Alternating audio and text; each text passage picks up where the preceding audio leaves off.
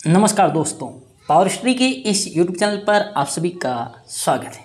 तो दोस्तों, हो जाए तैयार, एक बार फिर से जूनियर अकाउंटेंट जी हाँ मैं आपको बता रहा हूँ, राजस्थान आवासन मंडल में। राजस्थान आवासन मंडल यानी कि Rajasthan housing board R H B में मैंने पहले भी आपको कहा था कि वैकेंसी आने वाली है और बहुत जल्द आएगी और इसकी एजेंसी है अब फाइनल हो चुकी है। ये आप देख सकते हैं, आठ जुलाई 2023 आपको पदों के बारे में पहले बता चुका हूँ, मैं आज आपको योग्यता पाठ्यक्रम के बारे में जानकारी दूँगा। तो राजस्थान आवासन मंडल में आप देख सकते हैं, तीन सौ ग्यारह पदों पर होगी भर्तियाँ। भारत सरकार की संस्था सीडी कराएगी भर्ती परीक्षा। विस्तृत विज्ञप्ति बहुत जल्द आ जाएगी आपके सामने दस पंद्रह दिन के अंदर अंदर। इसकी कंप्लीट विज्ञापन आपके सामने आपको मिलेगा। तो उसे मैं पहले बता दूँ कि मैंने आपको पहले भी बता चुका हूँ कि राजस्थान आवासन मंडल में वैकेंसी आने वाली है।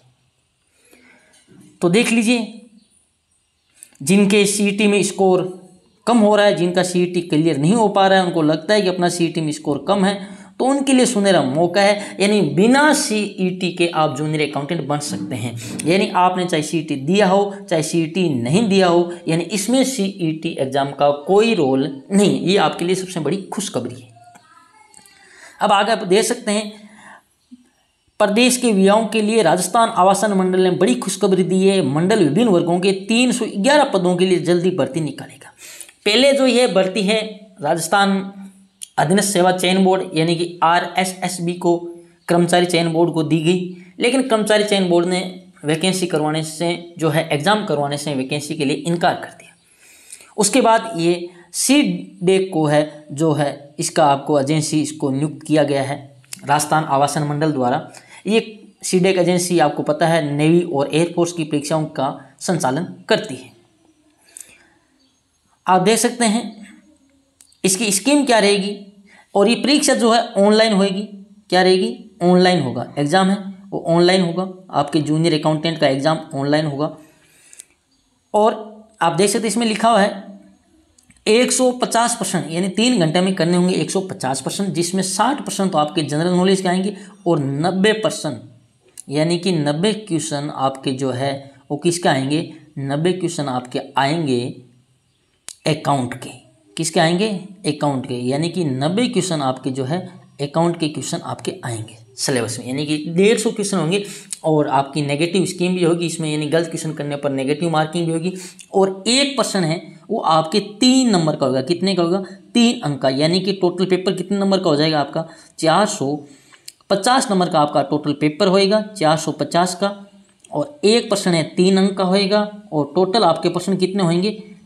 टोटल आपके पर्सन हो जाएँगे आपके एक सौ पचास। यानी कि एक सौ पचास पर्सन आपके होंगे और एक पर्सन आपके जो है तीन नंबर का होगा नेगेटिव मार्किंग होगी और सभी पर्सन आपके मल्टी चॉइस यानी ऑब्जेक्टिव पेपर होएगा। और ये पात्रता और सिलेबस यानी कि कर्मचारी चयन बोर्ड के अनुसार ही निर्धारित किया गया है। राजस्थान के ग्यारह शहरों में लगभग सौ सेंटर पर ऑनलाइन एग्ज़ाम होएगा। जल्द ही विस्तृत विज्ञप्ति आ जाएगी। बात करते हैं पदों की। यानी एग्ज़ाम आपके ऑनलाइन हो जाएगा। पदों की बात करें तो मैं आपको बता चुका हूँ कि पद जो है कनिष्ठ लेखाकार के, यानी जूनियर अकाउंटेंट के पचास पद आएँगे। यानी कि जूनियर अकाउंटेंट के लिए पचास पदों पर भर्ती होने वाली है। ये देखिए, कर्मचारी चयन बोर्ड और एम एन आई टी की असमर्थता के बाद दिया सी डी को मौका। पहले कर्मचारी चयन बोर्ड से ही आपका जो है कॉन्टेक्ट किया गया, राजस्थान हाउसिंग बोर्ड द्वारा। आपको पता होगा, दो तीन बार इन्होंने निविदा निकाली थी टेंडर, लेकिन किसी ने इस पर हाँ नहीं की।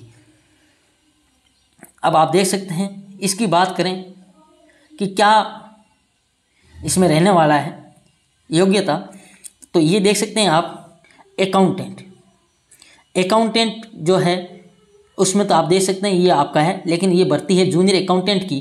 तो अपन बात करते हैं जूनियर अकाउंटेंट पे। तो ये जूनियर अकाउंटेंट के बारे में देख सकते हैं आप, सौ परसेंट डायरेक्ट रिक्वायरमेंट यानी कि सौ परसेंट पदों पर सीधी भर्ती की जाती है और इसके लिए क्वालिफिकेशन क्या इन्होंने बता रखी है, आप देख सकते हैं। बी या तो बी यानी केवल कॉमर्स के लिए। ये भी एक सबसे अच्छी बात है कि केवल कॉमर्स के अभ्यर्थियों को उसमें मौका मिलेगा, यानी आर्ट्स और साइंस नहीं, केवल कॉमर्स होनी चाहिए। यानी बी कॉम की होनी चाहिए आपके।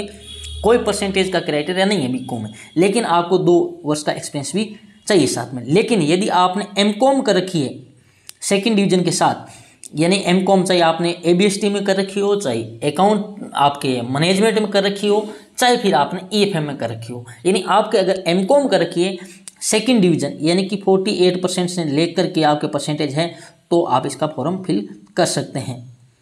ठीक है? और फ़र्स्ट डिवीज़न है जिनकी एम कॉम है, उनको प्राथमिकता दी जाएगी। लेकिन इसमें आपको कोई ज़्यादा घबराने की बात नहीं है। यदि आपने एम कॉम कर रखी है सेकेंड डिवीज़न है तो आप इसका फॉर्म फिल कर सकते हैं। या बी कॉम के साथ में यदि दो साल का आपका एक्सपीरियंस है तो भी फॉर्म फिल कर सकते हैं। और इस योग्यता में भी बदलाव होने वाला है। मैं बता दूँ कि ये योग्यता भी चेंज करेंगी। योग्यता आपके केवल और केवल बी कॉम रखी जाएगी। ये एम कॉम वगैरह कुछ नहीं रखी जाएगी। केवल योग्यता बी कॉम रखी जाएगी। केवल बी कॉम होनी चाहिए। आपके ग्रेजुएशन कोई परसेंटेज क्राइटेरिया नहीं होगा। यानी केवल आपके स्नातक होनी चाहिए और स्नातक होनी चाहिए वाणिज्य में। इतनी ही आपकी योग्यता रहेगी। सिलेबस है, वही कर्मचारी चयन बोर्ड का जो जूनियर अकाउंट सिलेबस है, वैसा ही रखा जाएगा जिसमें आपके अकाउंट आएगी।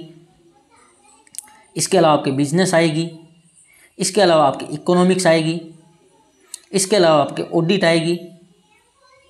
और इसमें R S R G F R नहीं आएँगे। क्या नहीं आएँगे? R S R G F R नहीं आएँगे, यही सिलेबस रहेगा। इसके अलावा इसमें जो और सिलेबस में पार्ट आएगा, इसमें आपके एक आएगा। Rajasthan act, housing board R H B का एक्ट आएगा, ये आपके सिलेबस में आएगा R H B act. R H B act आएगा और साथ में कॉस्ट अकाउंटिंग और जीएसटी के भी कुछ टॉपिक आएँगे। तो ये आपका सिलेबस रहेगा। यानी कि जो चैन बोर्ड का सिलेबस है, अकाउंट इकोनॉमिक्स बीओ ऑडिट, वो तो आपके सेम ही रहेगी। अकाउंट इकोनॉमिक्स बीओ और ऑडिट लेकिन आरएचबी एक्ट आ जाएगा, जो आपके आरएसआर और जीएफआर सिलेबस में उसकी जगह आरएचबी एक्ट आएगा और कॉस्ट और जीएसटी का पार्ट इसमें जुड़ेगा. तो ये रहेगा आपका सिलेबस आपने पावर स्टडी के लिए जूनियर अकाउंटेंट के नोट्स खरीदे होंगे. जो पावर स्टडी ने तैयार किए हैं अकाउंटेंट्स और ऑडिट के नोट आप परचेज कर सकते हैं. मात्र सौ रुपये में अकाउंट और ऑडिट के नोट्स आप परचेज कर सकते हैं. दोनों मात्र सौ रुपये में, यानी जूनियर अकाउंटेंट जो आपके चैन बोर्ड करवाएगा एग्ज़ाम सितंबर में उसके आप नोट्स परचेज कर सकते हैं। इसके आरएचबी के भी अपन नोट्स बहुत ही जल्दी लेके आएँगे। थोड़ा सा सिलेबस आ जाए। सिलेबस तो लगभग यही रहने वाला है। लेकिन आरएचबी एक्ट कॉस्ट अकाउंटिंग और जी ये टॉपिक नए इंक्लूड होने हैं। तो धन्यवाद।